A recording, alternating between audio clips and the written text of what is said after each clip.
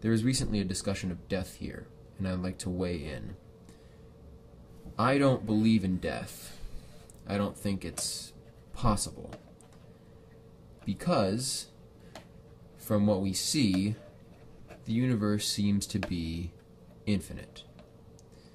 And if the universe is infinite, that means that any potential experience is actual experience. Infinity is negated by the introduction of something which does not exist. If there is infinite substance, if there is infinite being, then nothing does not exist. And so, when you start talking about death, let's first define what is the entity which dies. You know, I don't think that we have this sort of persistent identity, the the you that whether you call it, you know, the transmigration of the universal soul through this form or whatever, there is no real being to it except its mere fact of being in each instant. But as far as grouping it together arbitrarily by a timeline, saying from birth to death that is one person, it really is only being derived from our everyday experience of individuality. And that's, in a sense, socially constructed.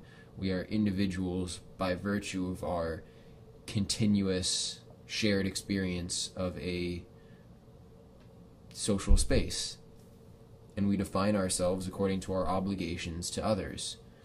And it's not necessarily human others, but external beings that mirror a continuity in ourselves because they they show us that we are the same thing. They show us by our experience with them, our remembered experience with them, that we are something that again comes back to these same places or things or people. But lacking that, there's really nothing that unites ontically your experiences with each other. The only thing that there really is is memory, which exists as a reflection of this external experience that we have. And our memory is what brings past into the present. But in, in every case, the identity really exists in the present. You are not your past, you are your present. And your memories are in the present. And so, in that way, we bring our pasts into our presence, but only by simulation. So, we don't necessarily have a being, a soul that is our own only, that we stand to lose. What we might say instead is that we stand to lose our memory. But is that even true? I don't believe so. If the universe is infinite, which it seems to be, then those minds which are larger than yourself would your own thoughts, your own memories. Maybe not exclusively, but they can could be expected to.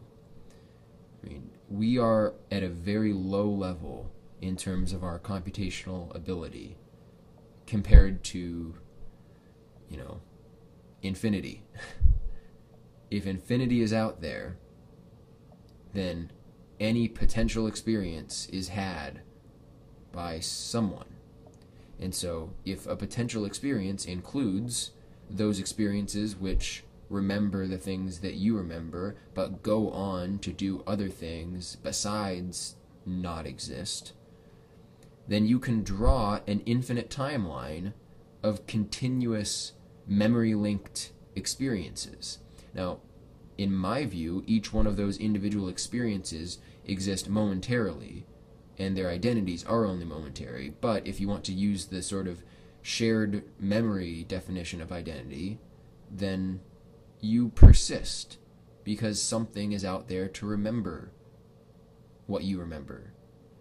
And that's all that really matters in terms of a perception of a timeline, because we construct our conception of a flow of time based on our perception of time delineated moments. But that those are all brought into these presents where we are by memory. We construct that conception of time by this mechanism. And really, all it is is an imprint in our minds of some other state. It's it's it's language. Language allows for memory because we have symbology, which refers to an outline. You know, it's it's an outline of some theoretical experience that we're not directly accessing, but which we can refer to in the outline of. You know, I remember these details, just like a story will outline certain details. You know, we have this this symbology of memory, and through that we infer in the present our continuous existence. But I don't know. When I was younger, for example, I used to often wonder I wonder if I was just kidnapped by aliens and implanted with all the memories that I've had so far. And really, this is a brand new experience, but I just remember it as being part of this other timeline. Now, those aren't really the thought experiments that I use anymore, but you can sort of see the point. So, if you believe that the universe is of a sufficient scope to include computational entities which would or could host your symbology of a past, then you could rightly say that you, your continuous experience, can it, it extends beyond what you think of as the death of your body.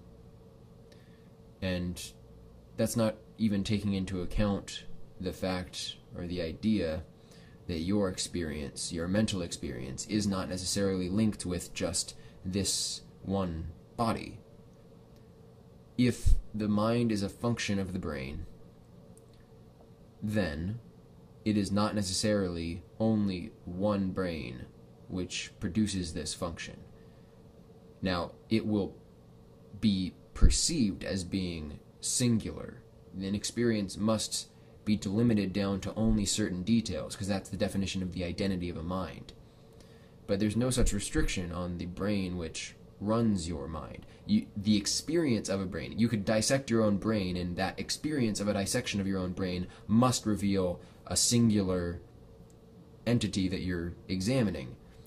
But it's not necessarily, you know, I mean, imagine this scenario where you're dissecting your own brain and thinking about it, well, that brain that you're dissecting exists phenomenologically for you, and that phenomenological brain is not necessarily the ontic brain that simulates the phenomenological experience. You could imagine like a brain in a vat, or you know, I guess the Matrix is a nice pop culture example. You know, someone in the Matrix is in the Matrix dissecting their brain, but the brain that they're dissecting is not the brain that's lying in the vat somewhere it's so you see see what I'm saying, I suppose. Well, that's something to think about.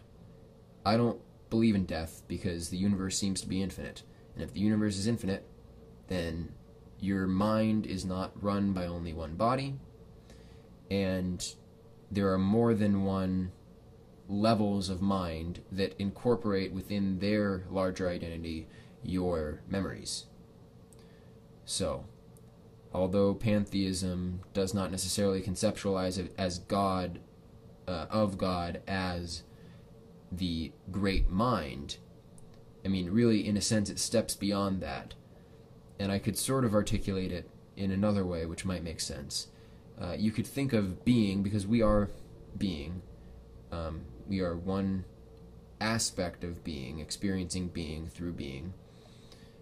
And that being can be thought of spatially or temporally. And these are the two modes that seem to be available to us. There may be others, but it really just seems to be a way of describing what is pre existent to us. The form, the mathematics, the structure seems to be pre existent to the individual iterances that we are exposed to. The potentiality for all language exists already. You know, the the potentiality for all logical statements, for all arrangements of physical matter. You know, if, if you believe in matter, which I don't, but the for the arrangement of all information, uh, if that already exists. Well, anyway, your time experience is not purely time; it's it's spatial and temporal, and you could think of the maximum mind as being that whose spatial quality increases with proportion to its temporal dimension. I mean, think of it as like a, uh, it, it's a piece of paper. The vertical dimension is time. The horizontal dimension is space, and a larger uh, moment for moment will have a greater proportion of space to each moment of time you know, and then the smaller will have a greater percentage of, or you know proportion of time for each unit of space that it's able to conceive of. Now, if you extend that to its limit, you could have beings which are only able to think of one spatial entity for every one spatial or every one temporal moment, and that would be equivalent to the thought of a perfect stasis. Because without multiple events at each moment of thought, there's nothing to compare it to because you can't bring memory into the subsequent moments because there's no room. If you only have one spatialized information identity per temporal slice, then that amounts to an undifferentiated experience, the simplest mind. Now, if you go the other way and you expand the spatial dimension for every moment of time, then you approach, and, and it's it's not clear whether it's possible, but you approach the infinite space for each moment of time, in which case sub- subsequent moments of time would be identical. Because if you already have infinity in one moment of time, then the next moment of time is identical.